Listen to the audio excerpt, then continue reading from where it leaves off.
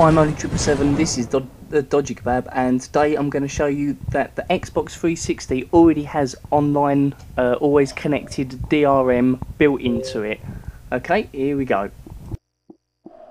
Okay, now first of all, this is the Xbox 360 connected to Xbox Live already, and you'll be able to see that when I select my games, I can pick whatever I want and play it no matter what. That's that's okay. So let's just see how that goes.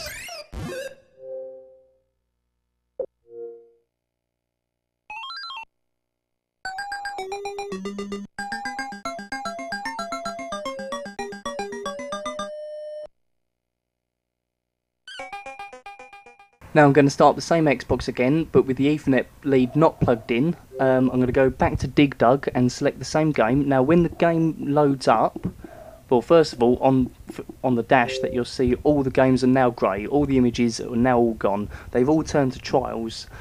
When I select Dig Dug again, you'll notice that when it starts up on the bottom left hand corner it says you've now got a trial version. You can only play up to round two. That's because once it's not connected to, on, to Xbox Live all your games turn into trials.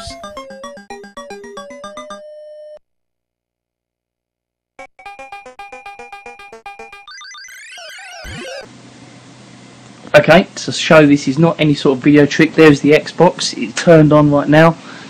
It is plugged into, uh, into the internet right there there is the same dash that you just saw. If I go to games,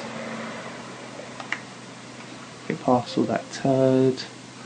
There they are. There's the games.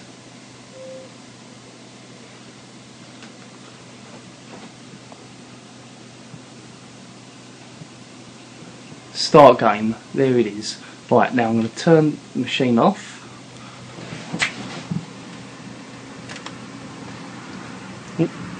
That's off. Now to bleed out the back. Ah.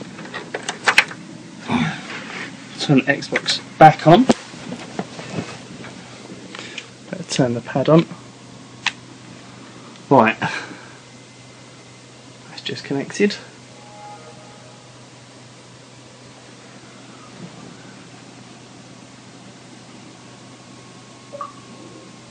So sign it's connected to my account still. There's only one account on there. One Xbox Live account, that's it. and now the games are gone. Click on Dig Dug.